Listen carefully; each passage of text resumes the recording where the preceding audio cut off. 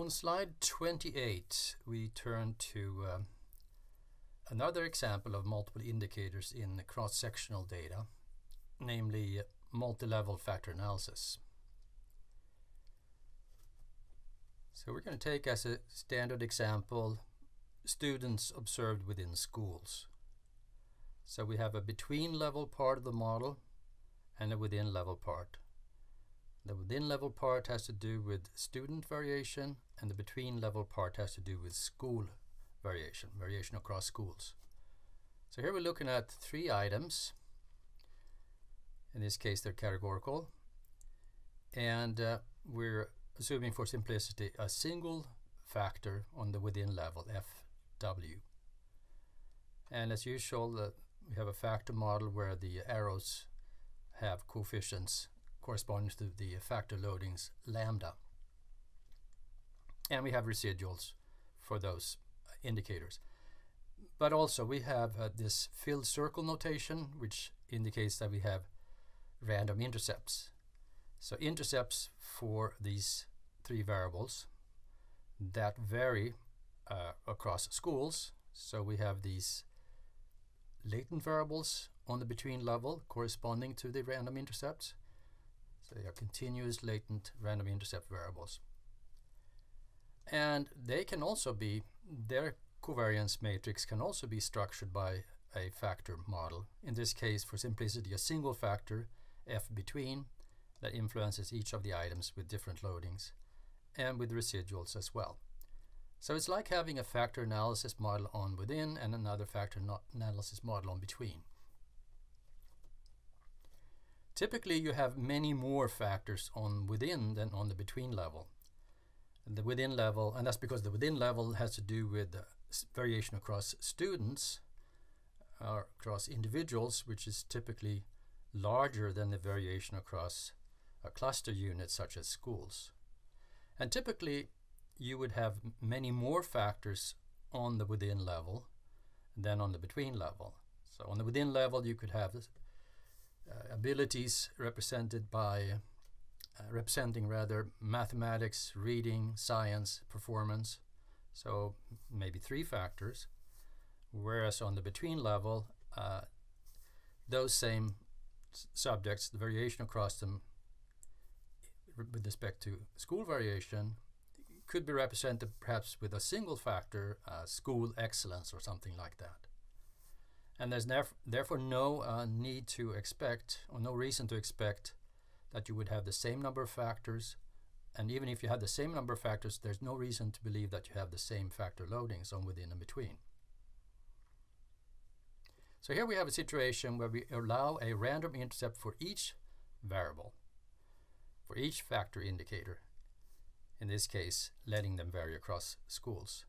So you can ask yourself, actually, then if you think back to the previous slides talking about random intercept factor analysis, perhaps you could then also add a random intercept factor on the within level to represent variation across individuals, across students, that's common to all of the items.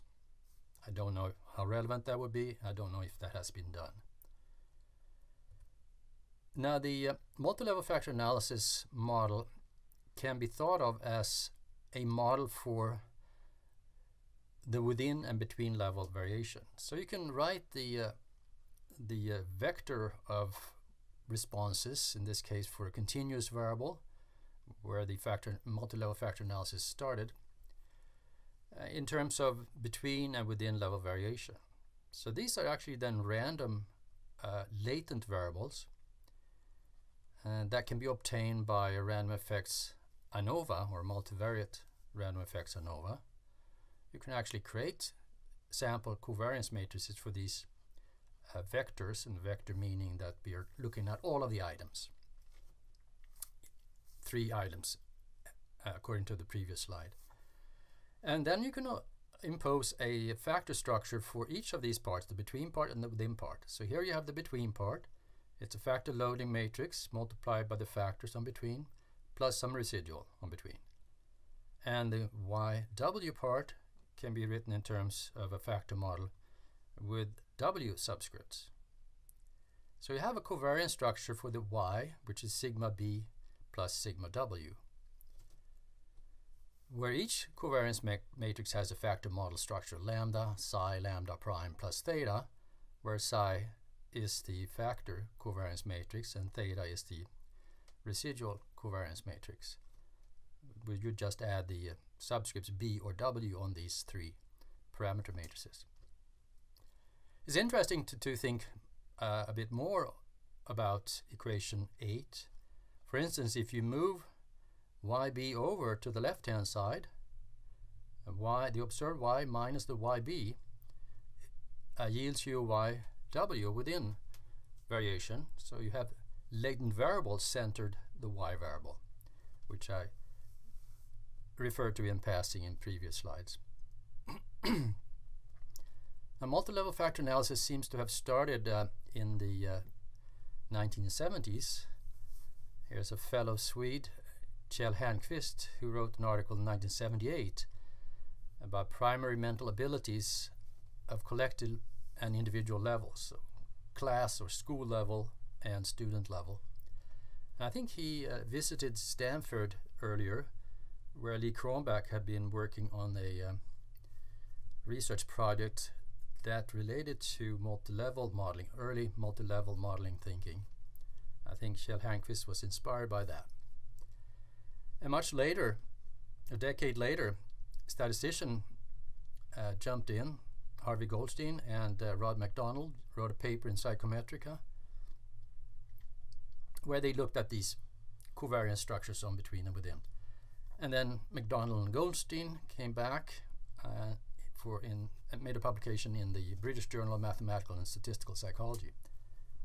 if you want an overview, you can take a look at my paper from 1994 in Sociological Methods and Research, where I give a little bit of a literature overview and show how this modeling can be easily fitted into a structural equation modeling framework. Now going to slide 30, now, if you look at one factor indicator at a time for individual i in uh, school j in this case. So we have the uh, then the logit model written in terms of now in uh, on the variable le level instead of a so scalars instead of matrices. New intercept in the again literal y only notation. The intercept and the between level variation and then the within level variation. And again, there's no within level residual. There's no residual in the uh, logistic regression. Now, I condition then uh, have a condition on dot here. It means that uh, you condition on, on any random quantity on the right, by which I mean that I'm not talking about the marginal probability of u being 1, but I'm talking about the conditional probability as a function of these quantities on the right. The marginal probability would integrate out all of these, sum over all of these random variables. Now we can write this model, which at first we think of as a factor model for a between level covariance matrix and a within and a factor model for a within level covariance matrix.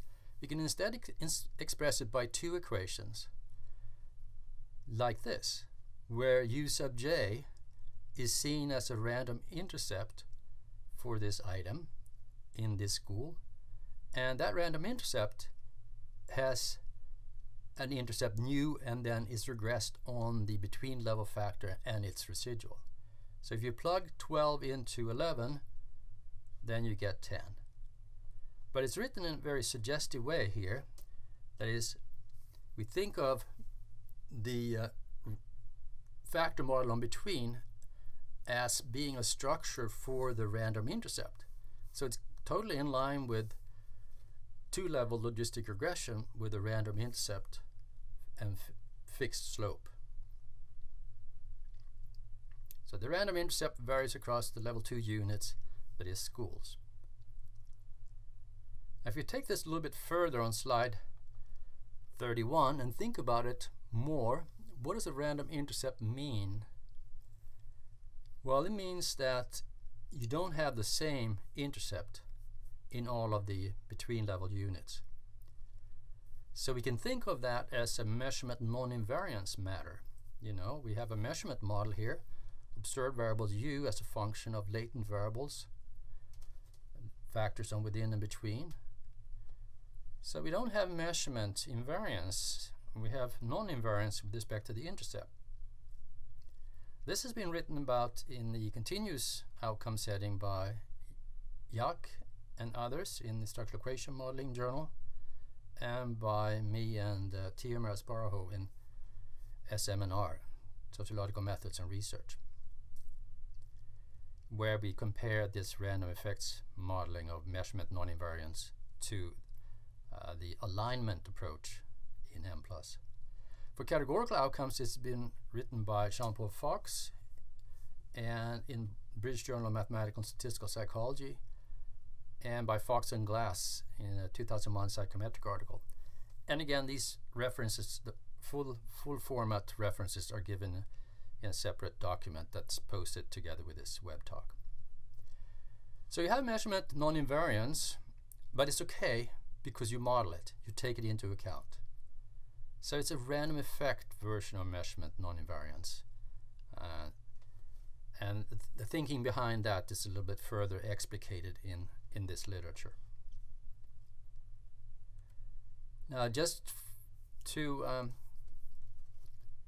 expand the horizons a little bit here, in multi-level IRT, multi-level item response theory, you know, for test items, uh, this random intercept notion is also used. Again, Jean-Paul Fox, he wrote a 2010 book related to this, and he has an article in an edited book random item effects modeling for cross-national survey data. And essentially it's a variation on this multi-level factor model again. You have a logistic regression here with a random intercept and the random intercept is given a factor structure here. Now multi-level IRT uh, in my readings of it seem to um, by and large mostly assume that the loadings are the same on the within and between level. So these loadings are the same. And that there are no residuals on the between level. If you make that assumption in equation 15 and 16, you get to equation 17 and 18 down here. So you have one lambda, that's the first line, and you have the same lambda on the second line with residual zero. Now, if you write it that way, then you can think of this as a random intercept for the factor. That is, you can rewrite 17 and 18 as 19 and 20 by writing lambda times fij, where fij is the sum of the between and the within variation. You know, if you multiply that with lambda fb times lambda fw, then multiply by the same thing, then you have equation, equation 17 and 18. So you have one random intercept for the factor, not a separate random intercept for each u. So uh, if you think in terms of maximum likelihood estimation and numerical integration, you have fewer, smaller number of uh, dimensions of integration, easier computations. Now, if you look at this in terms of pictures then, uh, First, I talked, we have two types of multi-level factor models. First, I talked about the multi-level factor analysis setting, and then I talked about the IRT setting on the right. So let's look at this carefully then again. On the left-hand side, within variation, is this is within school variation, so variation across students. It influences the part of the observed variables uh, that are not influenced by FB. So these filled circles mean that we have taken out the between level variation in the items and FW affects influences what's left in the U's in the U variables, namely the within variation. And on between then you have these random intercepts for each variable which you may or may not want to structure by a factor. They could be totally unrestricted too. except that would, in maximum likelihood estimation, lead to uh, a lot of, at least five dimensions here. And you have a residual, this is the epsilon b residual for each item in between. If you want to, and I think I did in early drawings, you can connect these U circles to the U boxes here. So you can see that they are influencing part of U. Now, but we have a clean separation of within and between variation. Now in the IRT setting, we put the random intercept not on the items. There's not an item specific random intercept, but a random intercept for the factor. So dot down here, and that dot is the f between factor. So according to the previous slide, formula 20, f is part f between, part f within. And then the, there are no residual arrows here like there are on the left hand side. So this is a different uh, formulation where f is no longer pure within variation but it consists of both within and between. As a matter of fact, you may prefer to write this model in a different way by having an FB factor sitting down here and influencing the FW and thereby influencing the items indirectly because the IRT model imposes equality of the loadings on between and on within. So that would be perfectly okay to let the between factor influence the within factor because then it would influence the items with the same loading as the within part. So just getting used to uh, different pictorial descriptions of the models.